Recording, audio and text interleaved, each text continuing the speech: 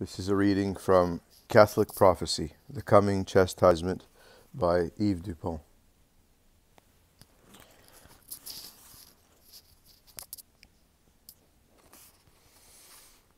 Fifty-four. Father Phryna Demetz, Freinademetz, twentieth century. All foreign missionaries shall soon be expelled from China. You will have to walk hundreds of miles before you can find a priest even then, your journey will often be fruitless. Some priests and some Catholics shall apostatize. A war shall break out once all foreign missionaries have been expelled. Then some foreign powers shall occupy the whole of China and shall divide it into zones.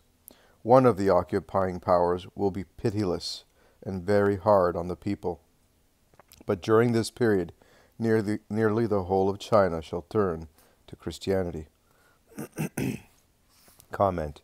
This prophecy was made in 1906 in China, where Father Freinademetz was a missionary.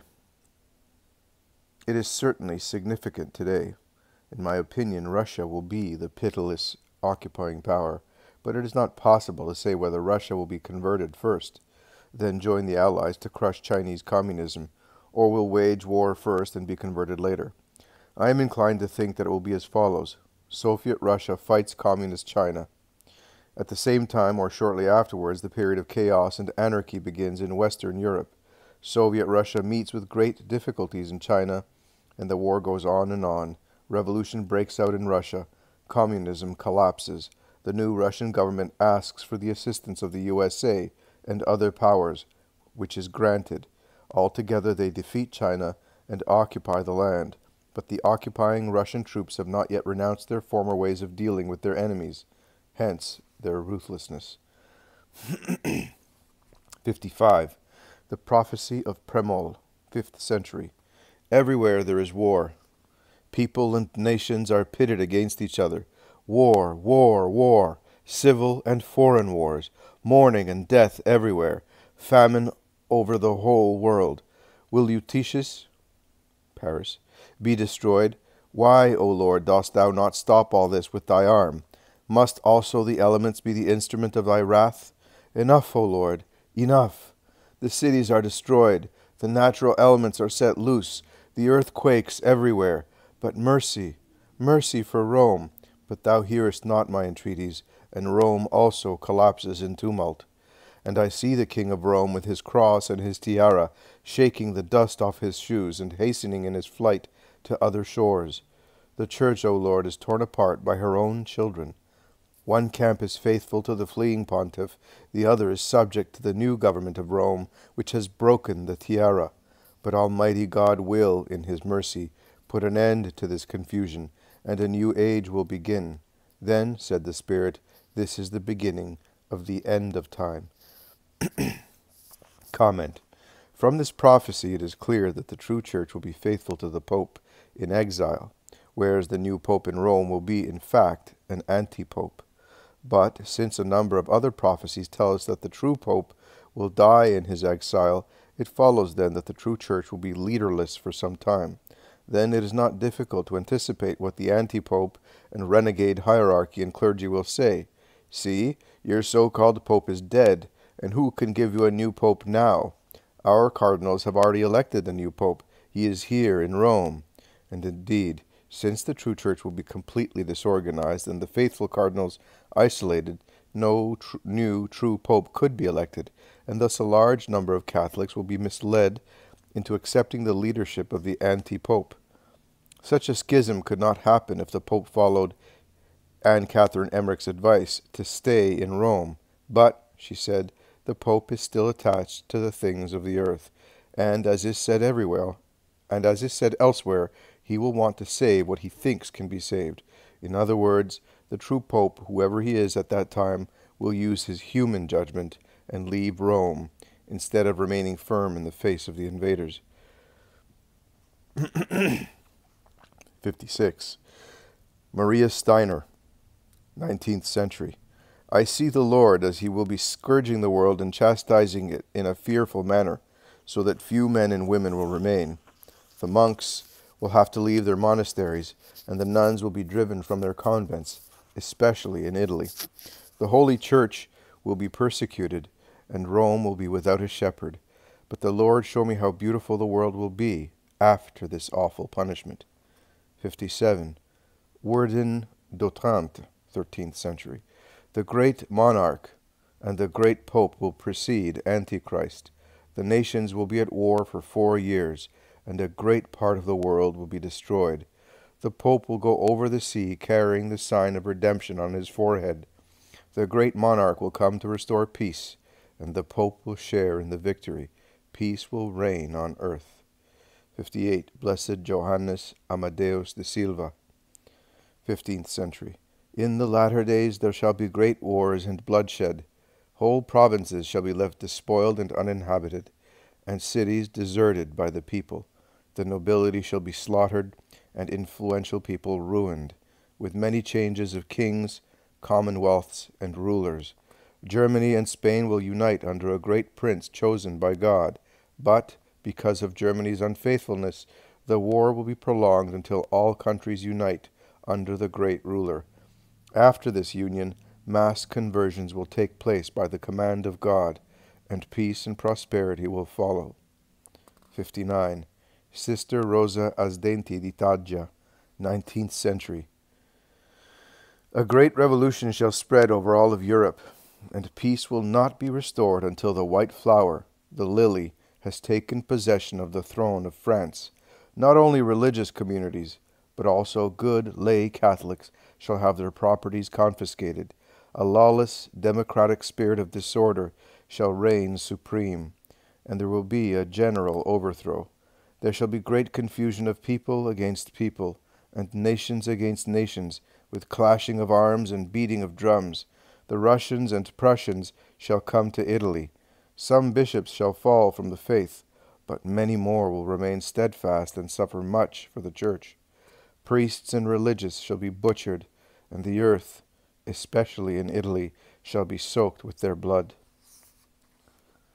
Comment. Here again we have the confirmation of East Germany's work of destruction, called Prussia, as in all other prophecies. It is, it is interesting to note that the majority of bishops will remain steadfast. Perhaps when the chips are down, they will perform better than they did during the Vatican II Council. 60. Sister Marianne Gauthier, 18th century. So long as public prayers are said, nothing shall happen. But a time will come when public prayers shall cease. People will say, Things will remain as they are. It is then that the great calamity shall occur. Before the great battle, the wicked shall be the masters, and they will do all the evil in their power, but not so much as they will desire, because they shall not have enough time. The good and faithful Catholics, less in number, shall be on the point of being annihilated, but a stroke from heaven will save them. Such extraordinary events shall take place that the most incredulous shall be forced to say, The finger of God is here. O power of God, there shall be a terrible night, during which no one shall be able to sleep. These trials shall not last long, because no one could endure them. When all shall appear lost, all will be saved. It is then that dispatches shall arrive, announcing good news. It is then that the prince shall reign, whom people will seek, that before did not esteem him. The triumph of religion shall be so great that no one has ever seen the equal. All injustices shall be righted. Civil laws shall be enacted in harmony with the law of God and of the Church. The education given to children will be most Christian. Pious guilds for workmen shall be restored. Comment. Many of the prophecies which I have so far quoted are repetitive, but every one of them adds something new besides the description of the main events. Here we have an interesting reference to public prayers. They will cease because people will think that things will remain as they are anyway. Seen in the light of the current crisis in the church, this statement is significant. How many times have we not heard it said, Communism is here to stay. We must seek a compromise. We must reach some understanding. We must dialogue and work together for the betterment of mankind. I could cite actual quotations of such instances of wishful thinking. Not a few priests have been led to believe that com communism indeed works for the betterment of mankind. Not a few priests are of the opinion that individual prayer is futile and social action the only possible answer to the world's ills. Even Rome has decided that it is no longer necessary to pray for the conversion of Russia after each Mass. Rome has even received Soviet, Soviet dignitaries with smiles and gifts while their henchmen were torturing priests in Bulgaria and elsewhere. The very day that a priest was challenged to renounce his faith or die, I think it was in Bulgaria, Pope Paul VI was shaking hands with Podgorny in the Vatican. This heroic priest's answer was, I believe in God. I believe in the Holy Catholic Church. My master is the Pope, and the Pope will never shake hands with murderers. Why should I? He was slaughtered on the spot. Meantime, Paul VI was exchanging diplomatic smiles with the murderers. Hmm. 61.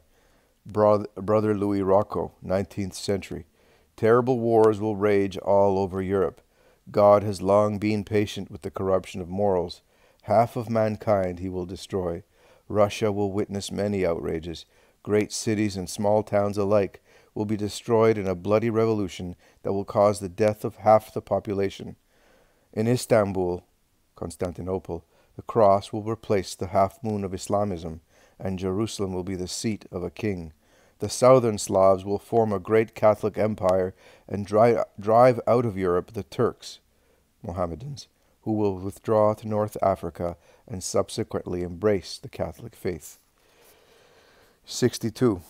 Marie de la Fodé, 19th century. There will come three days of complete darkness. Only blessed candles made of wax will give some light during this horrible darkness. One candle will last for three days but they will not give light in the houses of the godless. Lightning will penetrate your houses, but it will not put out the blessed candles. Neither wind nor storm nor earthquake will put out the blessed candles. Red clouds like blood will cross the sky, and the crash of thunder will shake the earth to its very core. The ocean will cast its foaming waves over the land, and the earth will be turned into a huge graveyard. The bodies of the wicked and of the righteous will cover the face of the earth. The famine that follows will be severe. All plant life will be destroyed, as well as three fourths of the human race. This crisis will be sudden, and the punishment will be worldwide. 63. Linsky prophecy, 19th century. The western lion, betrayed by its emancipated slaves, shall unite with the cock and put a young man on the throne. This time the strength of the disturbers of the earth is broken forever. Brother shall shake hands with brother, and the enemy shall withdraw to a far-away country. At the rising sun, the hammer is broken. When the black eagle and the hammer invade foreign country, foreign countries, they shall perish on a river. The bear falls after its second expedition. The Danube shines again in splendor. The barbarians, stricken with great fear, flee in disarray to Asia. Comment. The symbolism, the symbolism of this prophecy presents no difficulties, but not everyone is acquainted with the language of many prophets. Here, therefore, is the translation. England, the Western Lion, betrayed by her former colonies, which are still formally members of the Commonwealth, will unite with France and put a young prince on the throne. The strength of the communists is broken forever, and the enemy withdraws to a distant country. In China, the communist hammer is broken. When communism unites with Prussia, East Germany, they will both be defeated on the banks of the Rhine River, a correlation from other prophecies. Soviet Russia will collapse after her second expedition. The Chinese, stricken with fear, flee back to their country. From this and from inferences drawn from other prophecies, it seems that Soviet Russia and Communist China will be at war, and Russia will suffer military setbacks. At the same time, or shortly before, East Germany will wage war in the West with the support of Soviet Russia, but they will both be defeated in Westphalia by the great king who will be in command of all the Western forces. These events will take place towards the end of the great disaster, not at the beginning. There will be a bloody revolution in Russia, perhaps as a result of her military defeats. communism will be overthrown. The new government will ask for U.S. support against China, and the Chinese will be defeated. and their country occupied. 64. Maria de Tilly, 19th century. I see a great darkness and lightning. Paris will be almost entirely destroyed by fire. Marseille also will be destroyed, and other cities as well. Comment. The darkness is that of the prolonged night when tremendous lightning will streak across the sky from east to west and north to south. 65. Countess Francesca de Bigliante, 20th century.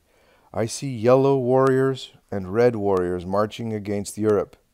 Europe will be completely covered with a yellow fog that will kill the cattle in the fields.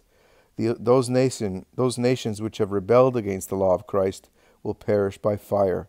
Europe will then be too large for them, to, for them who survive. May the Lord grant to my grandchildren the grace of persevering in the true faith. 66. American Prophecy, 20th century. The yellow hordes of the rising sun and the troops of the Middle Kingdom will pour out their wrath on the people of the island kingdom, which had gathered riches through trade. Comment. I have mislaid the exact reference concerning this prophecy, which I received many years ago, but I am quoting it because it confirms others of the same kind. 67. Helen Wallraff, 19th century. Some day a pope will flee from Rome in the company of only four cardinals, and they will come to Cologne. Comment. This prophecy lends credibility to what I have said before. Only four cardinals will be with the pope. The other faithful cardinals will be isolated in various countries and unable to communicate because of the chaotic conditions prevailing then, and they will be in no position to elect a new pope when the pope of that time dies in his exile. As a result, the Roman anti pope will be able to persuade many Catholics that he is the true pope. This prophecy says that the pope will come to Cologne. There are others, too, which say that he will go to Germany, but many more insist that he will go overseas. Perhaps he will go to Germany before going overseas. 68. Bishop George M. Wittmann, 19th century. Very sad times are coming for the Holy Church of Jesus Christ. The passion of our Lord Jesus will be renewed in a most painful manner in the Church and in her supreme head. Brutal hands will be laid upon his person. Secret societies will work great ruin, and they will exercise a great financial power. Comment. It is not possible here to discuss the very important question of economics. Economics, admittedly, is a complex science and the various existing schools teach conflicting principles. One thing is certain today's economics are not designed for the furtherance of popular prosperity, but for the benefit of a few manipulators. The working force provides the real wealth of a nation. The working force provides the goods and should be able, therefore, to enjoy the benefits which these goods bring them.